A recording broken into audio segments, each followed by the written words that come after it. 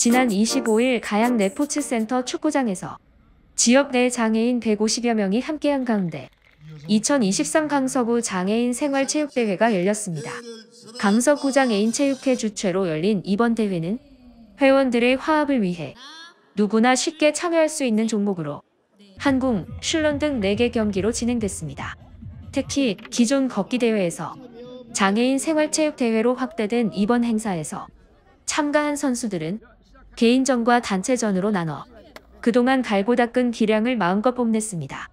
행사장을 찾은 진교훈 강서구청장은 선선한 바람까지 더해져 운동하기 좋은 날씨에 회원들끼리 소통하고 친목을 다지는 즐거운 시간이 되시길 바란다고 말했습니다.